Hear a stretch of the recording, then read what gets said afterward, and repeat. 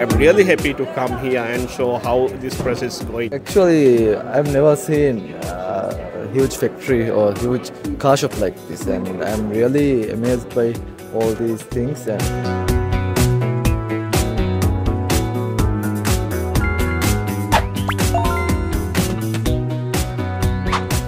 Explore the D-Space with foreign media reporters. Today we came to China's first new energy vehicle science museum, BYD, Zhengzhou D-Space. The D-Space building consists of four floors in total. On the first floor, there's a brand culture space, where visitors can follow the projections of virtual murals and physical exhibits to traverse time and enter the world of automobiles and explore the evolution of automotive power.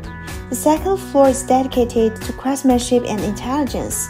Here, you can witness the entire process of a car's creation from single line on paper through the clay modeling stage, all the way to the final production line.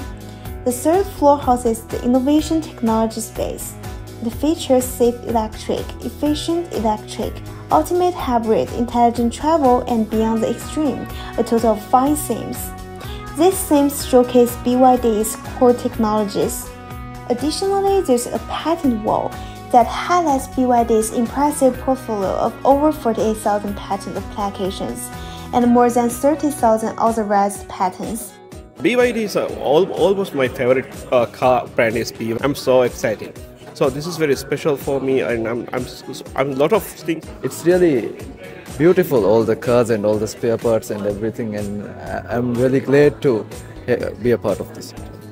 As the first new energy vehicle science and research museum in China, This space is an urban industrial cultural landmark created by BYD.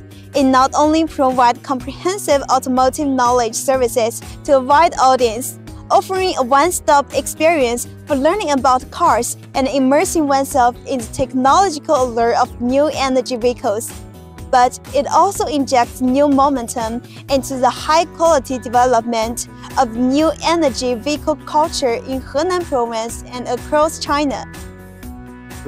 China has, especially in this Zhengzhou, is so developed. I, I feel, and especially I notice uh, with development, you, you didn't, didn't lose your history. You focus on history and telling people to uh, your history and culture and kingdoms and everything. So this is very special for me, and I'm I'm, I'm a lot of things. Uh, I was really fascinated by the culture of uh, Chinese people. Actually, this city is really developed, and we want Maldives to be as developed as China.